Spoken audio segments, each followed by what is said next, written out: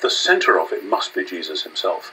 Not a theory, not uh, um, an idea, but actually something about this person.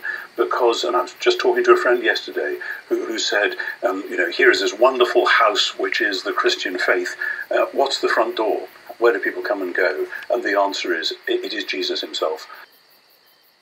And of course, it's to do with who he was, it's to do with the meaning of his death, it's to do with his resurrection, particularly, but it's to do with the fact that in and through Jesus, the living God um, opened the great door of his new world, which he's been uh, intending to make, and invited us all to come through it with him.